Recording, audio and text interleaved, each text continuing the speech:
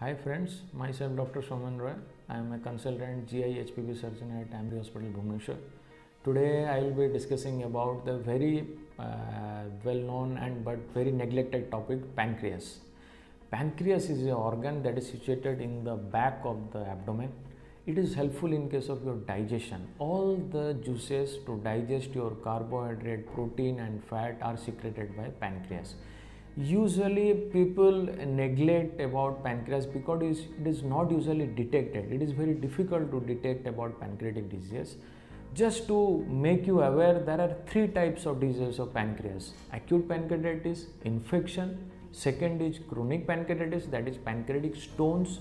Third one is pancreatic cancer. These are three basic variety of pancreatic diseases. If a person have pancreatic problem or disease he will have acidity gastric you do multiple scan and endoscopy it is not detected. Particular certain blood test particular ultrasound ct is required to detect about pancreatic diseases now coming to the acute pancreatitis. Acute pancreatitis the name per se means infections acute means sudden. If you take alcohol if there is excess of tobacco then it damage your pancreas along with liver. So that treatment is done in hospital medications antibiotics taking care of the patient's condition.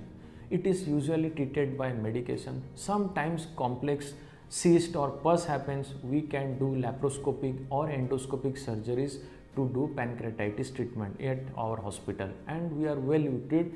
Nowadays, laparoscopic surgery is very advanced to treat pancreatic uh, uh, acute pancreatitis because it is a very complex and very pus related uh, uh abscess inside the abdomen.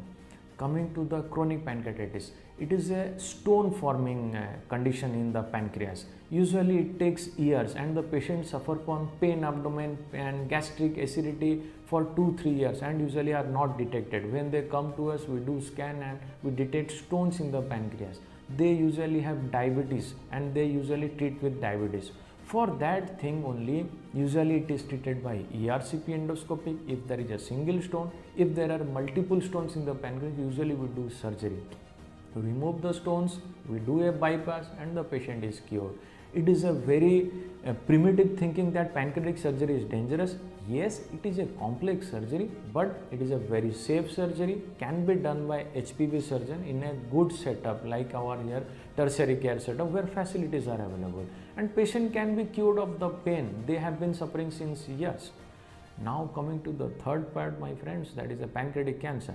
Obviously pancreatic cancer is usually dangerous, it is not detected, it presents as jaundice or pain abdomen in advanced cases.